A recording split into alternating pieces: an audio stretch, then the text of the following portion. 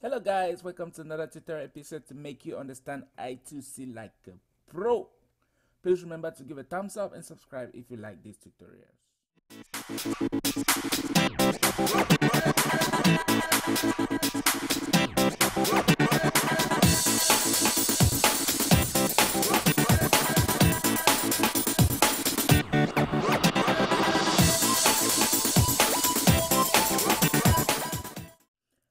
Briefly talk about some of the characteristics, structure and functionality, protocol, and of course we will see a live demo with more practical explanations to solidify your knowledge. I2C or I2C was invented by Philips Semiconductor, now NXP Semiconductors, in 1982. It is a synchronous multi-master, multi-slave, serial two-wired bus protocol. The two wires are SDA that's for serial data and SCL for serial clock, used to attach low-speed peripheral to microcontrollers. One of the largest benefits is that it requires only two wires compared to other interfaces. Each slave node has a unique address with which the master can initiate communication. The example image shows a typical I2C cluster. Every I2C node has an open drain buffer on each of its wire. It is achieved with a single transistor that pulls the SCL or SDA line to ground when voltage greater than the threshold is applied to the transistor. The transistor floats when no voltage is applied to the base. In this case, the line is pulled high by the pull-up resistor, which is the default bus, bus state. The size of the pull-up resistor is determined by the bus capacitance. The whole protocol, as we shall see in the next slides, is based on this structure. The whole protocol is better explained with read and write accesses. The master can either read I2C address values from slave or even write them to configure the slave. Every access starts with the master sending a start signal and then followed by one or more bytes, each of which has to be acknowledged by the slave to, signi to signify successful reception. Every communication is terminated by the master with a stop signal. Start and stop signals are needed for every communication. A start condition on the bus is a high to low transition on the SDA line when the SCL line is still high. A stop condition is a low to high transition on the SDA line when the SCL line is high. Each bit on the SDA line is asserted on when the SCL changes from low to high. Each byte of data must be acknowledged or not acknowledged by the receiver to signal successful or failed transmission. A byte can be a device address, register address, data written or read from a slave.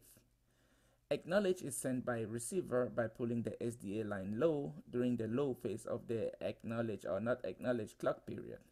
This assures stability during the assertion period of the SDA line, which is the low to high phase on the clock line. Not acknowledge occurs when the receiver let the SDA line to float and be pulled high. Writing and reading becomes very easy to understand once you have understood start, stop, acknowledge, and not acknowledge. Of course, writing starts with a start bit, followed by the slave address coded in the first seven most significant bits, plus a read-write bit to indicate a write access. Then after, the master releases the SDA line for the slave to acknowledge the byte. After acknowledgement, the slave releases the SDA line for the master. Take note that releasing means the SDA line becomes high, which is the default level because the open drain collector of the node let it float so that the pull-up resistor pulls it high.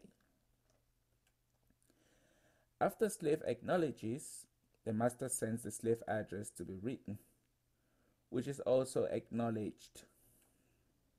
After that, the master then sends the data to be written, which is also acknowledged by the slave. At the end, the master sends a stop bit to end the communication. Reading a slave address is similar to writing for the first two byte transfer.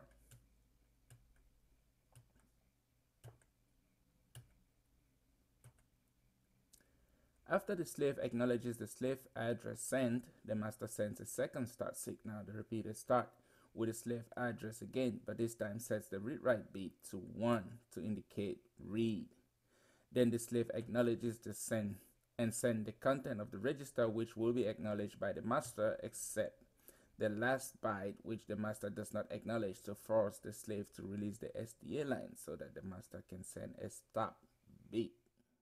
Okay, enough of all the theory. Let's try to see this on hardware. Okay, I've set up my, my, my platform. I'm using PSOC 6 now, as you can see.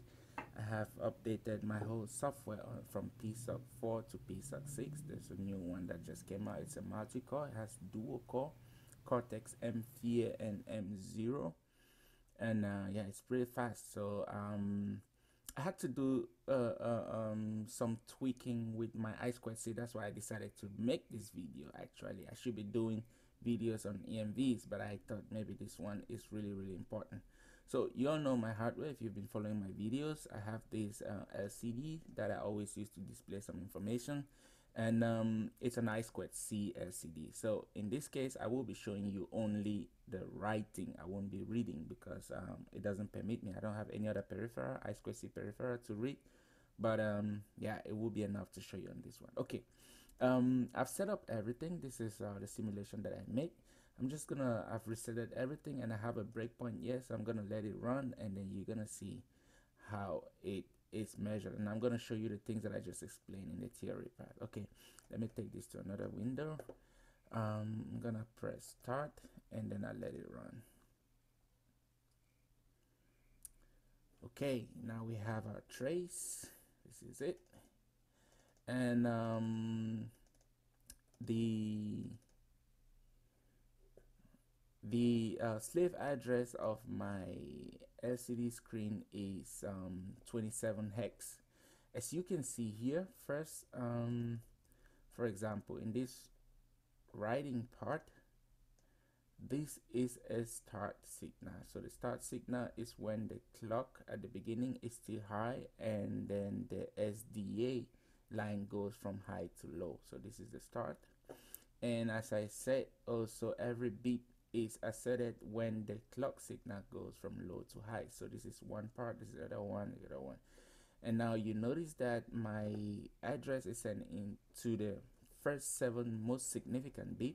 So it's just like um, having 27 and then push it one bit to the left. That's why it gives you 4E. And uh, the write byte is at the end. It's the write bit is at the end. It's a zero. That's why you have 4E. So you can do the math and you see it and then the you see for every byte sent there is an acknowledgement from the slave so after this first byte was sent the data that has to be written was sent same thing everywhere so you always see the the the, the write and the address with the acknowledgement and then the next byte with the acknowledgement so that is exactly how it goes unfortunately i don't have any other peripheral where I can actually read bytes from the slave, I would have showed you. But I hope you understood everything. If not, place your question uh, below and I'll be glad to answer them. Thank you very much.